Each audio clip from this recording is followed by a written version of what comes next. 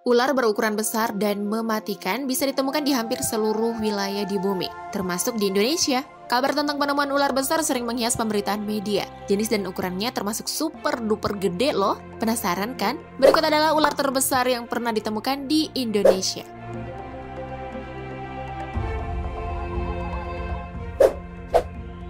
Eits, tapi sebelum lebih lanjut, tekan tombol subscribe-nya dulu ya, dan aktifkan lonceng notifikasi Bu, agar bersama kita terus berbagi info menarik dari Update Pro.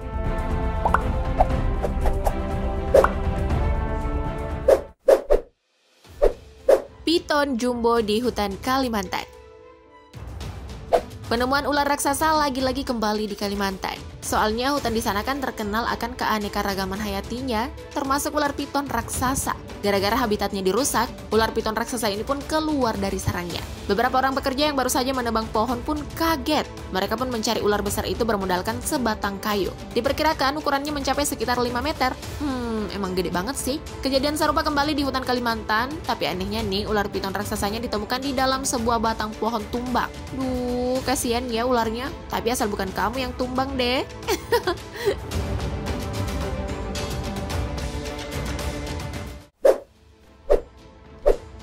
King Cobra Kalimantan Update lovers, biasanya film-film India sering menampilkan adegan ular kobra kan bersama pawangnya. Nyatanya nih hal seperti itu bukan hanya ada tuh di film India aja, di Indonesia juga ada loh. Gak percaya? Lihat aja tuh.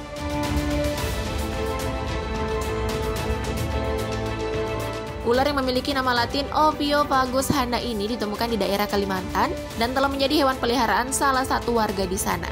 Karena ukurannya yang super gede, postingan foto yang beredar di media sosial tersebut membuat warganet menjadi heboh. Diketahui king cobra raksasa biasanya mencapai ukuran 5 hingga 6 meter, sekaligus menjadikannya ular berbisa terpanjang di dunia. Wih, nggak takut banget ya si bapak ini saat memegang ular peliharaannya? Kira-kira kalau kamu berani nggak?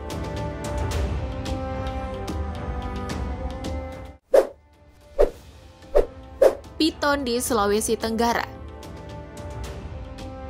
Ular piton merupakan salah satu spesies ular yang sangat ditakuti karena mampu melilit mangsanya dengan sangat kuat. Usut punya usut nih, beberapa waktu lalu tepatnya di daerah Muna, Sulawesi Tenggara, jenis ular ini menggegerkan warga sekitar. Soalnya ukurannya sangat besar saat ditemukan di daerah perkebunan. Piton tersebut berukuran 7 meter.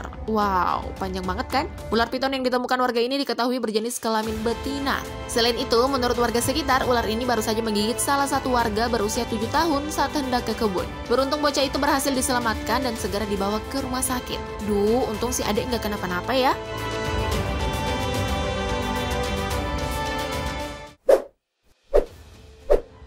Raja Piton di Sragen Tahu nggak sih update lovers, kalau ternyata Indonesia adalah rumah bagi ratusan jenis ular. Bukan hanya itu, ukuran dari hewan melata ini juga nggak kalah menakutkannya. Seperti yang berhasil diamankan oleh warga di Sragen saat menemukan seekor ular piton raksasa. Saat diukur nih, ternyata ukuran dari ular tersebut mencapai kurang lebih 4 hingga 5 meter loh, dengan bobot sekitar 15 kg. Si piton ini ditemukan oleh warga di sekitar Semak. Diperkirakan saat itu ular ini sedang menunggu mangsa makan siangnya. Waduh, kalau ada yang hobi menjelajah di hutan perlu hati-hati nih.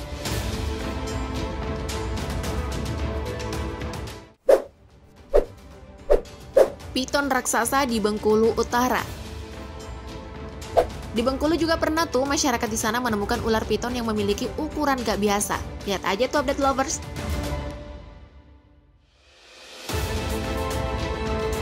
Ular piton super duper gede ini ditangkap oleh masyarakat desa Air Lakok, Bengkulu Utara. Menurut salah satu warga yang menemukan, si piton gede ini ditemukan pada sebuah sarang di tengah perkebunan sawit. Ular piton yang ditangkap hidup-hidup ini memiliki ukuran panjang 8 meter dengan bobot diperkirakan mencapai ratusan kilogram. Wow, atas penangkapan tersebut selain menghebohkan juga dijadikan tontonan oleh para warga. Wah, tetap waspada aja ya.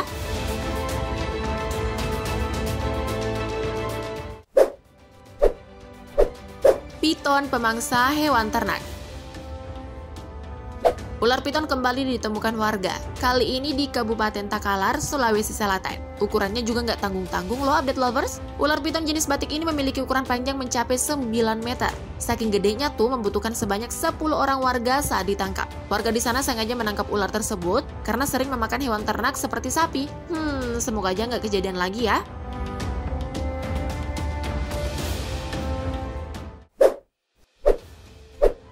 Piton 8 meter di Padang Pariaman.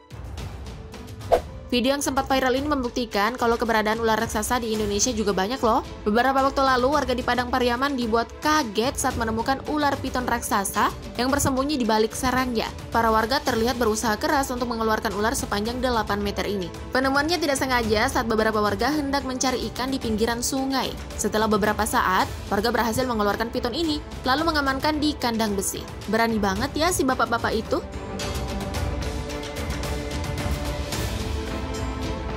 Gimana nih update lovers? Penemuan ular terbesar yang ada di Indonesia ternyata ukurannya luar biasa banget kan? Tapi semoga aja keberadaan ular di habitat aslinya dapat terus terjaga ya. Sepakat kan? Jika kamu punya info menarik seputar yang dibahas tadi, bagi di kolom komentar ya. Terima kasih telah menonton dan jangan lupa like dan share video ini jika kamu suka. Thank you update lovers!